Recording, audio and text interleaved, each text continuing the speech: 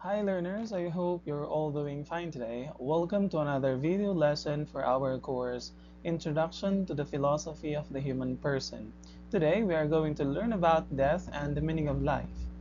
In our previous lessons, we learned about the human person and society, particularly how human beings are influenced by people around them, the environment, events, and other factors that have shaped and influenced one's life and experiences. Today, we are going to learn about death as the ultimate end of the human person and try to evaluate how we perceive life, the meaning of life. At the end of this video lesson, you shall be able to reflect and enumerate your life objectives or goals you want to achieve and try to define and reflect on the meaning of your life and identify where it leads you. So let's begin. One might ask, we will all die, so what then is the purpose of having an education? Owning and managing a business? Have a beautiful home with a lovely family? What's the point of doing what we are doing today? How will you answer this question?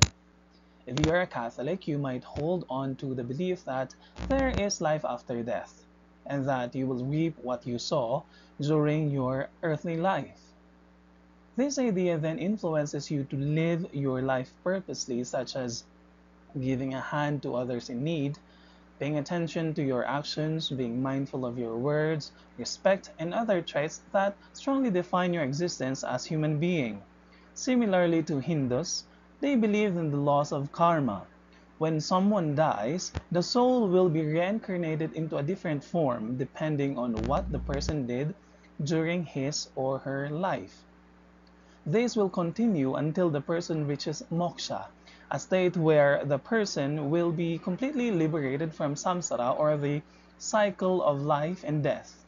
On the other hand, if you are a materialist like Democritus, who believes that there is no special meaning of life and life is other than living today, this perspective is rooted in materialistic philosophy that all things in this universe are made of atoms and soon will disintegrate into air.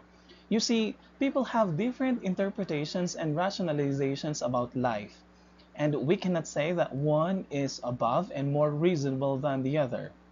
There's nothing wrong if one anchors his or her life on religious belief or to be a materialist, so long as you remain open to uncertainties the task of philosophy is not to provide another answer to what happens with life after death, but to ask what is the meaning of life in the face of in the face of uncertainty such as death. We previously discussed that as human beings, one of our limitations is spatial temporal. Because of our physical bodies, we are limited to time and space. We, can we cannot live forever. Eventually, our bodies will start to weaken, maybe because of old age, sickness, accidents, or other factors that will lead us to our ends. Death, as described by science, is the stop of bodily functions that signals the end of a person's life. In the context of religion, death is the separation of the body and the spirit, which for the Catholics and other Christian denominations, the spirit will enter the kingdom of heaven or suffer in hell. Nevertheless, our lives as human beings are like the sunset depicted in the picture.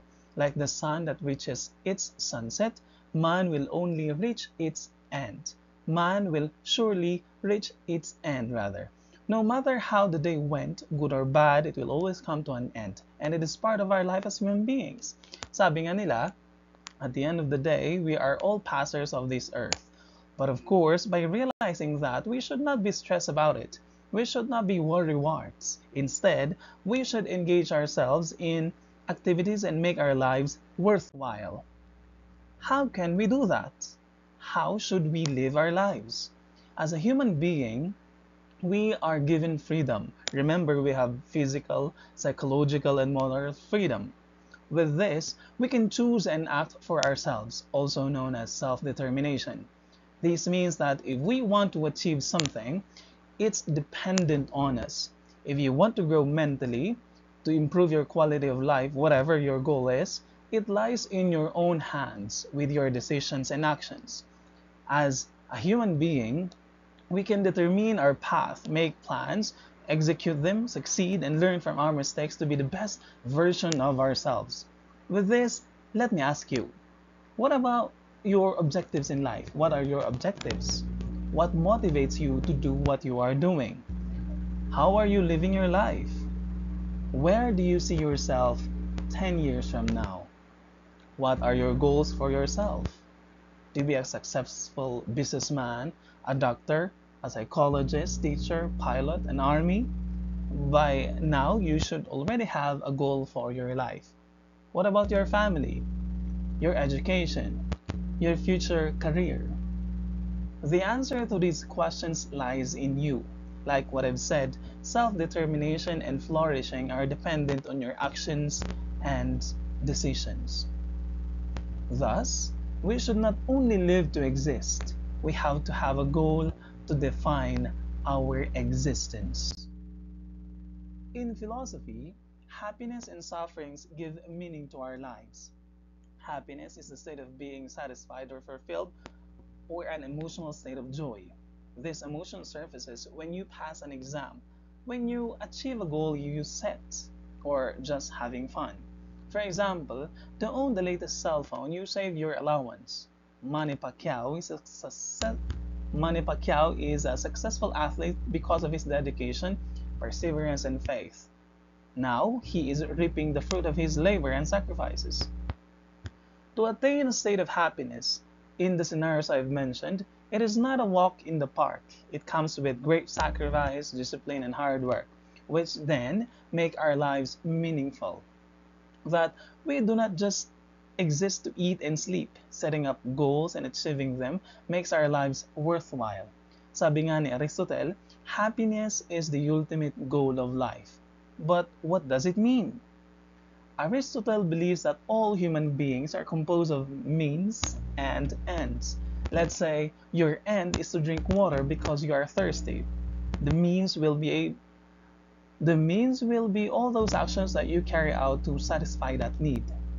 Since happiness is our ultimate end or goal, we exert effort to achieve it, which eventually defines our life.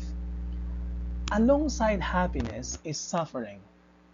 Suffering is a state of distress and hardship, such as poverty, illness, emotional pain, and other sources of hardship which have an impact in our existence. Through pain or suffering, we become stronger and wiser in our decisions and actions. We develop a sense of determination over our difficulties to eventually be the best version of ourselves.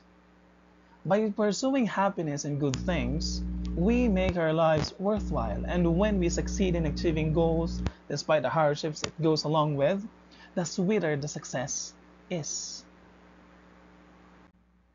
Now, I want you to ponder on these philosophical questions. What is life and what is the meaning of your life and where does it lead you? I hope you come up with your answers with these questions. Alright, so thank you for watching this video lesson. I hope you learned something. I'll see you again next time. Bye bye.